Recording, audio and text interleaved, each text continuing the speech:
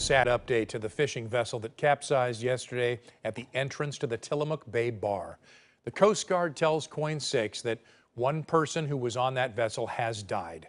Now, all four on board were recovered by the Coast Guard, but two were unresponsive when they pulled them out of the water. The 38 foot fishing vessel capsized when it was crossing the bar to return to port. It was being watched by a Coast Guard tower, which sent crews in immediately to rescue those folks.